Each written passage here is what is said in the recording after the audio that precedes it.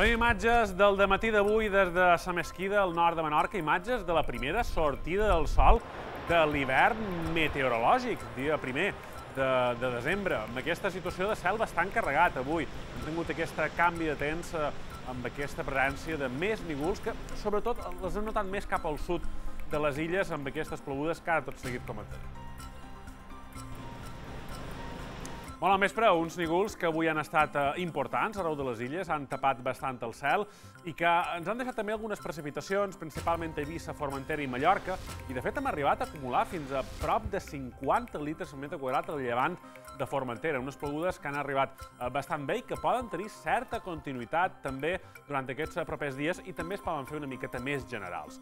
Només repassam allò que ens oferia el radar de l'Agència Estatal de Meteorologia, perquè com podeu observar aquesta traça de precipitació que teníem el canal entre les Pitiures i Mallorca ha quedat molt estàtica durant pràcticament tot el dia i això ha fet que els acumulats bàsicament quedessin gairebé tots dins la mà, però també afectessin sobretot punts de Formentera, aquí ho veus, i també cap al ponent i mitjorn de Mallorca. Pareix que això eh, canviarà aquestes properes hores i també pensam que hem de rebre algunes precipitacions en el cas de Menorca i també cap a punts del llevant de Mallorca. Repassam eh, aquestes dades de precipitació que hem enregistrat durant el dia d'avui. El Far de la Mola, 49 litres per metre quadrat, però és que, per exemple, Sant Francesc en tenien 12-13, per tant, una diversitat important, contrastos importants en el cas de Formentera per mort d'aquest caràcter tan estàtic de les precipitacions. En Escamarí, així mateix, 37 litres per metre quadrat, també cap al sud de, de Formentera. I després altres bandes del mitjon de Mallorca també han rebut eh, precipitacions importants. Santuari de Salqueria Blanca, de, de Consolació, amb aquests 23, eh, 23 litres. Cap a l'interior d'Eivissa també superàvem els 10 i just cap al port de Pollença han tingut un nucli de precipitació que ens ha deixat aquests 9 litres. Pensam que demà segurament les plogudes no acabaran afectant a totes les localitats afectats, però sí que poden afectar més clarament eh, altres bandes del nord i de l'est de les illes. Veiem fotografies ja del dia d'avui, aquesta sortida del sol que veiem des de Ciutadella. Encara teníem qualque clariana en el cas de Menorca, però vaja, el cel s'ha carregat bastant.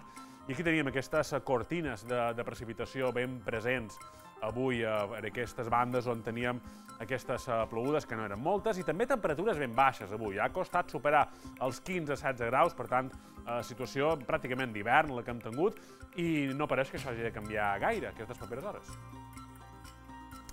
Veiem les imatges dels satèl·lits Meteosat, d'allò que anava passant durant el dia d'avui, perquè, com observau, els nígols una miqueta més actius es situaven cap al mitjorn, cap al sud de les illes i no avançaven gaire.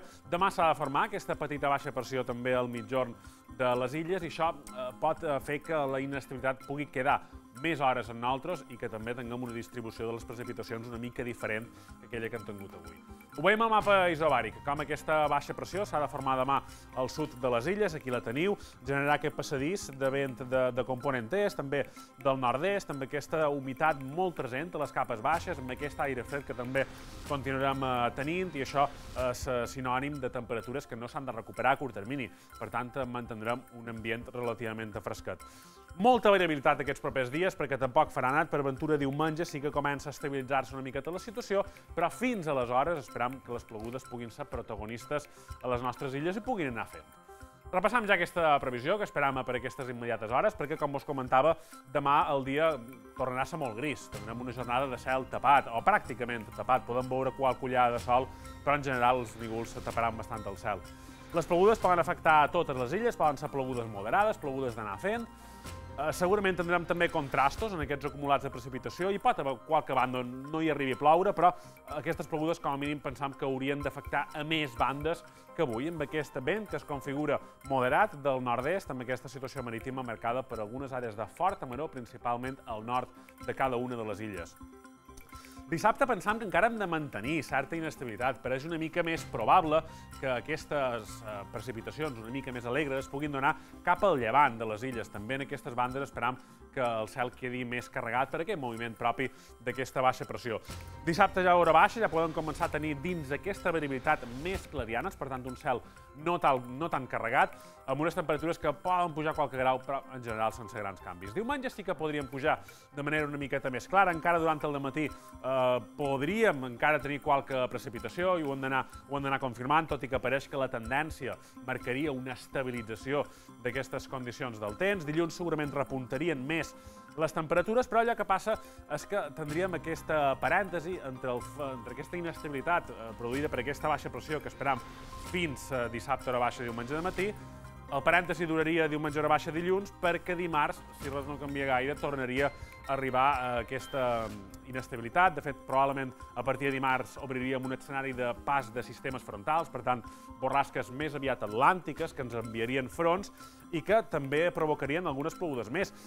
Pareix que, en general, aquest pont i aquests dies que venen vendran més dominats pels nígols i per algunes plogudes que no per al temps estable, que de moment a curt i mitjà termini no el veiem. Així que ja ho veus, avui hem tingut aquestes plogudes cap al mitjorn, que han de guanyar una miqueta de protagonisme també a les altres illes aquests propers dies i com a mínim fins diumenge mantindrem aquestes plogudes. De moment ho deixem aquí, que acabo de passar una molt bona.